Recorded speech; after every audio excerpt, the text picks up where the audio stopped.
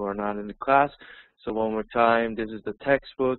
Just for those who uh, are not in the class, uh, let me just briefly explain again because I forgot to record.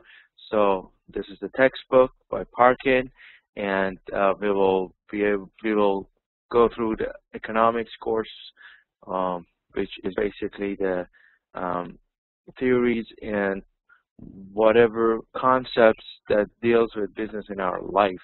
So it's very dominant in our life and it helps a lot to understand economics and how it works. So basically it's very useful. Then um, we will try to cover all these different uh, concepts of economics, the market prices, consumption, supply, demand, all those factors that are very, very uh, highlighted in economics. Okay, you can find this book on bookstores and also Amazon or uh, all those websites that they they sell the books. So it's it's a very uh, common book, so it shouldn't be a problem. As long as you go to a bookstore, you'll be able to find it. So then the course objective is uh, the ability to understand and apply those concepts, especially supply, demand, equilibrium, and factors that shift supply and demand and analyze the behavior of the market when the conditions change. Don't panic if you don't know these jargons and these names seem like uh, bizarre and odd or unknown to you. That's great. That's uh, that's good. That's the challenge that we want to go through. We want to learn all these uh, factors, and um, so it is great if you don't know them. Analyze the impacts of restricting markets from reaching the competitive equilibrium through price control, taxes, or subsidies. So there are different tools that uh, we use to impact or restrict markets. So some of them are, are these, and we will try to understand the difference between monopoly and competitive markets and understand the nature of production in modern economy and be able to identify the profit, maximizing the price and relationship between the prices uh, or types of costs. Uh, so all these factors uh, will be considered and uh, the students, I will like you to be able to uh, get some understanding of power of economic reasoning and what what's happening right now to to grasp a better understanding and of what's going on. Like when we say it's financial crisis, when we say it's uh, like economy is down, what do we mean? And as an economist, what we should look at, because as a common people, uh, people have some understanding. When inflation is high, when the prices go up, they say economy is bad.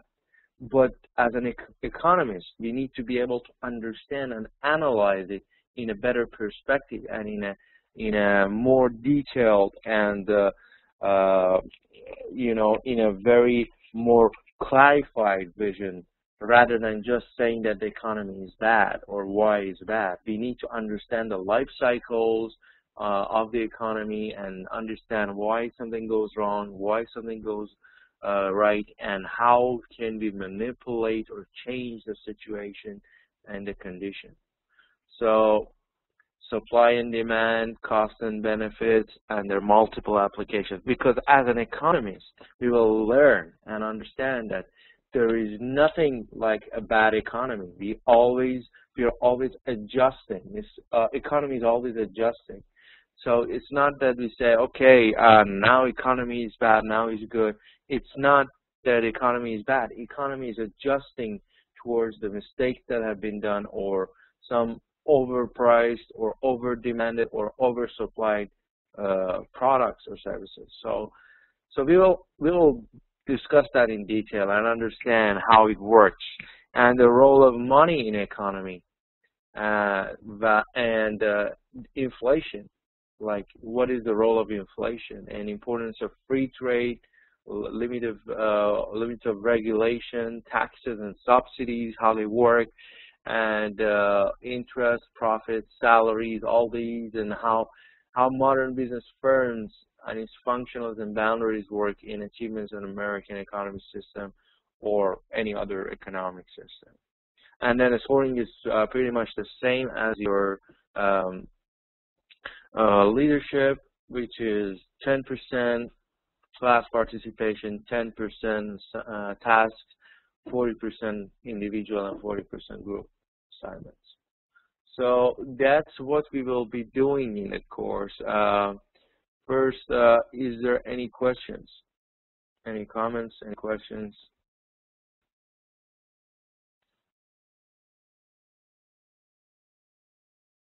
Are you all hearing me?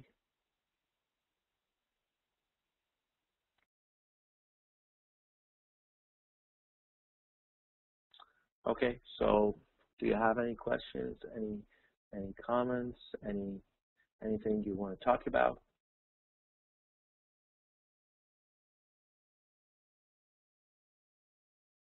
We get the ebook. Yes, you can. Of course, yeah. Those books that uh, they're they're sold on Amazon, they sell them. The, they sell the ebooks also. So definitely, you can buy an ebook for sure, and you can have it on your uh, iPhone or Kindle, and uh, yeah, for sure. You can just uh, look it up, and you can probably get help from admin that will help you to find a book, and uh, you know, probably uh, buy the book if you want. But it's uh, you can just Google it and then find it on Amazon for sure. Uh, so definitely you can buy it. Okay, no question.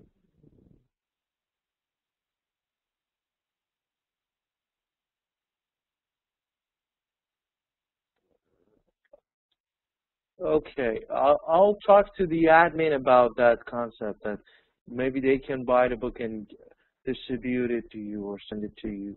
You can buy it through them probably if you want. That's uh that's some idea. Yeah, sure. I'll I'll let them know. Uh, it's uh it's available on Amazon as far as I know, or bookstores. Check check the bookstores uh, and see if they have that book. Um, otherwise, uh, they'll we'll find something out and we'll try to um, to see what we can do. Okay. Sure. Yeah. Okay. Very good. So that is great. Uh, I also want to show you another movie uh, here too. Let's see.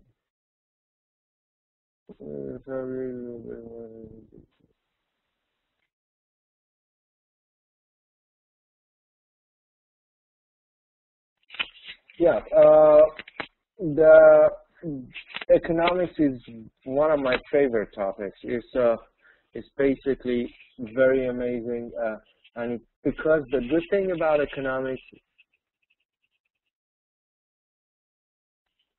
This is the book, yes. Foundation of Economics.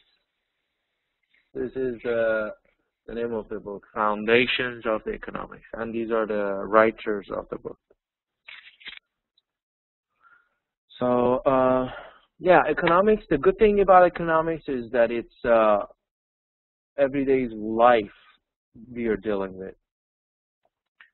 Uh, I don't know why my voice is low because uh, I don't know what to do. Mm. Okay. So I was saying that uh, economics is interesting is uh, it, it, deals with everyday life. So basically we are studying the business aspect of life. So it's like a scientific study of the business that we are dealing with everyday life. So that's why it's so interesting because whatever we do every day is part of economics or is, some, is somehow related to economics. So understanding it will help us a lot in bettering our business affairs or or our, our life status, you know. So uh, it is a very, very interesting topic. It's one of the best courses. And uh, the book that we are going to uh, use. Is also a very interesting book, and the writer Michael Parkin is is one of the best uh, economists, and we will we'll have some interesting topics to talk about. Uh, both uh, courses, uh, business economics and leadership, are very very exciting and very very uh, turbulent, dealing with changes all the time. And the requirements that we are facing every day in our careers. We definitely need, need leadership and, of course, economics. So these two courses are very interesting and they're going to be uh, exciting. So let's just show you a video. Okay.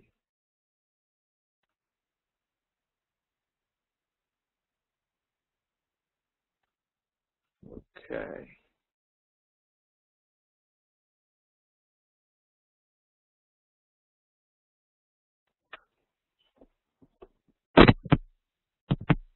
I tell people I'm an economist, they usually either ask when the economy is going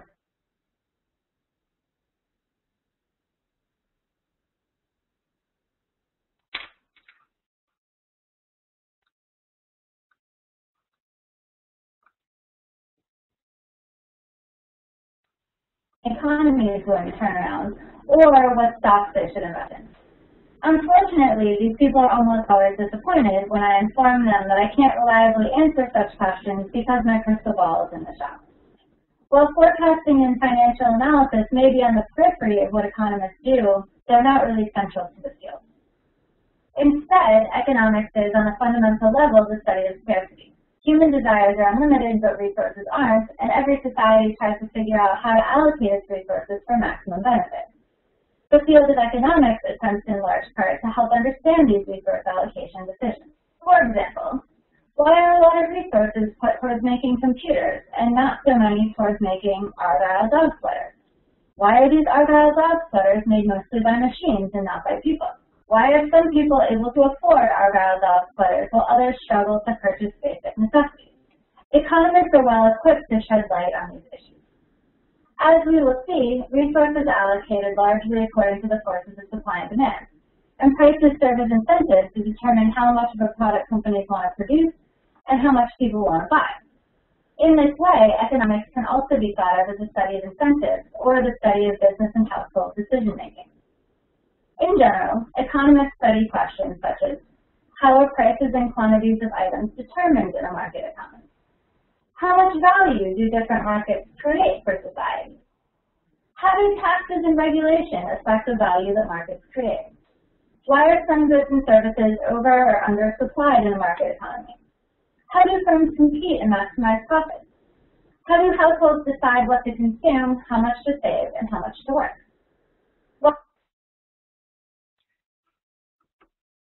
So, uh, since you guys are not viewing what I was trying to show you.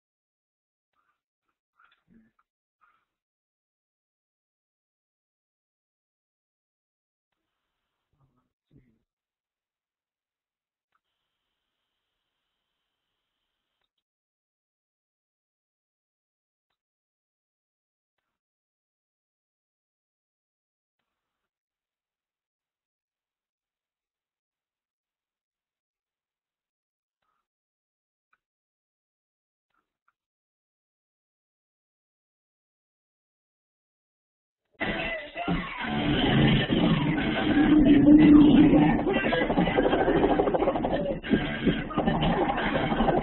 apply for your Black Card Visa card now, visit blackcard.com or call 866 Black Card.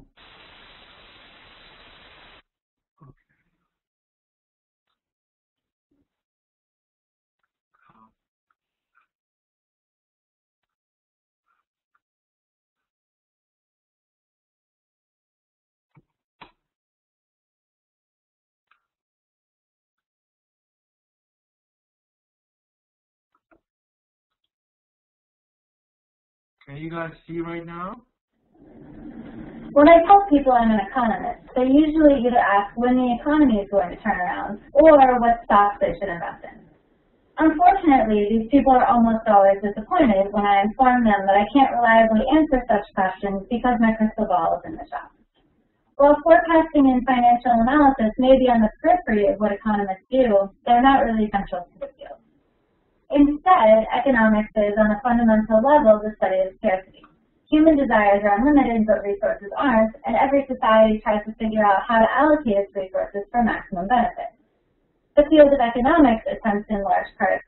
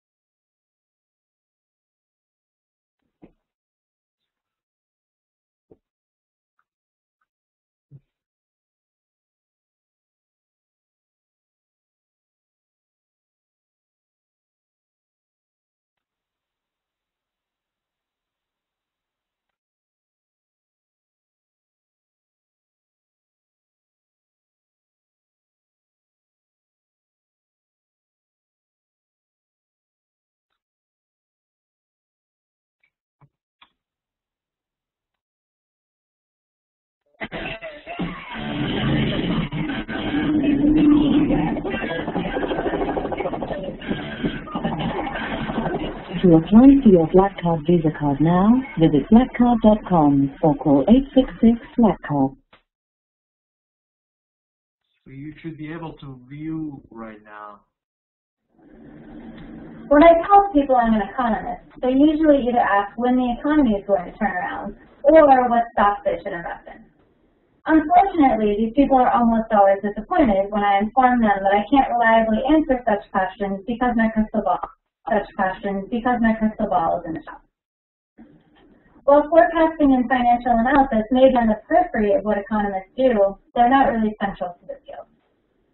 Instead, economics is, on a fundamental level, the study of scarcity. Human desires are unlimited, but resources aren't, and every society tries to figure out how to allocate its resources for maximum benefit. The field of economics attempts in large part to help understand these resource allocation decisions. For example, why are a lot of resources put towards making computers and not so many towards making Argyle dog splitters? Why are these Argyle dog splitters made mostly by machines and not by people?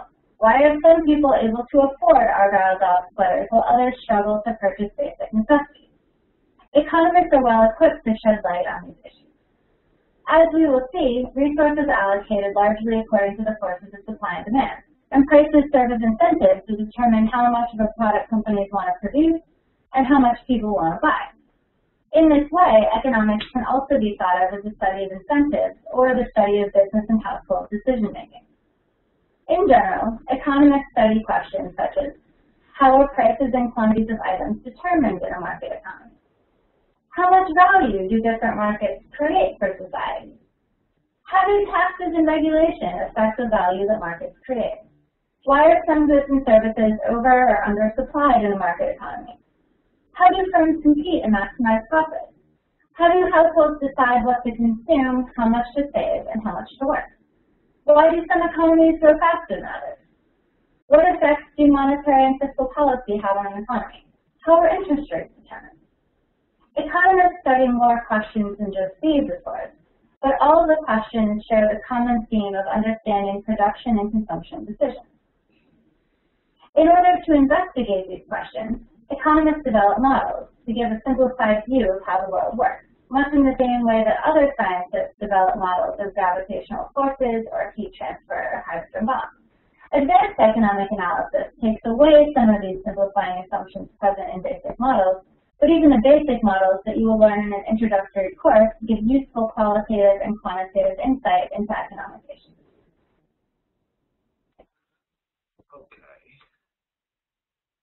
Policja Politiekorpsen. Okay. So.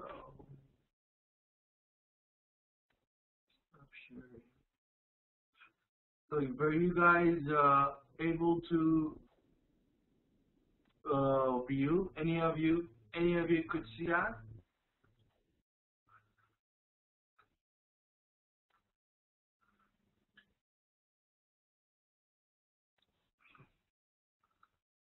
What I will do, I will also share this one to the Facebook page so that you can, see. Oh, Mr. So, Mr. Safi, you were able to see? You were able to view Mr. Akmal and Mr. Safi?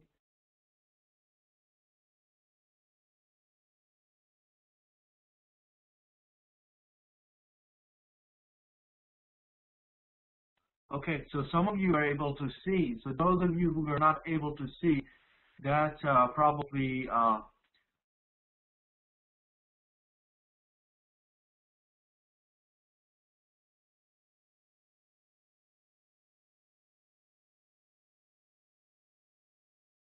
Okay. I don't know because uh, for you should be able to see that because I was sharing it. Yeah, not now, but then uh, should be able to see that. So probably there's something wrong with your uh, system or the way you're trying to view it because your classmates have seen it. So I would guess that uh, there should be a problem.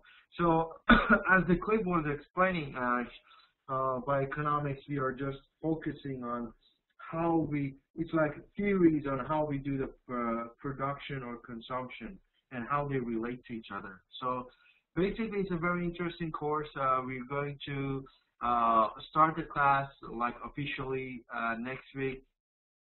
Oh, okay, uh, let me uh, add the voice.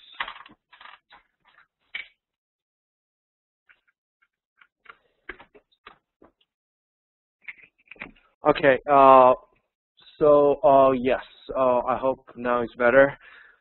As you were uh, hearing uh, during the clip, it was telling us how uh, consumption and production are related to each other, and basically we are going to study that and the, the theories that have been put into place and how we can understand how they relate to each other, like demand, supply, and all those uh, tools that help us understand the market better.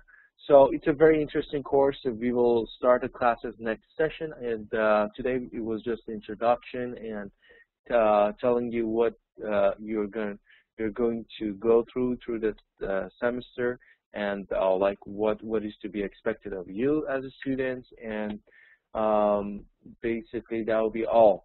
Uh, I will have the admin send you the syllabus for the, these two. I asked them to send it today. Uh, first, is there any questions, comments?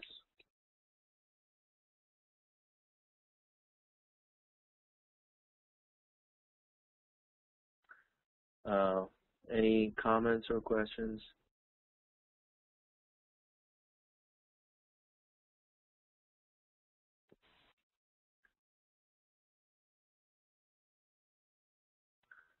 Okay, awesome. Yes, absolutely. As I said, I will ask admin to send it to all of you. I'll email them and ask them to send it to you as soon as possible. And uh, I'll put this uh, clip on the Facebook also, the, the page, so you can look at it. It's a, uh, it's a very good introduction. and um, if you don't have any questions, we can just uh, uh, finish the class now, and uh, I'll see you all next week, and we will start the, the actual class next week.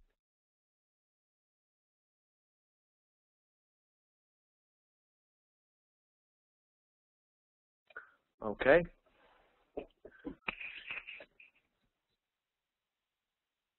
You post it on Facebook. Sure, I will. I will do that for sure.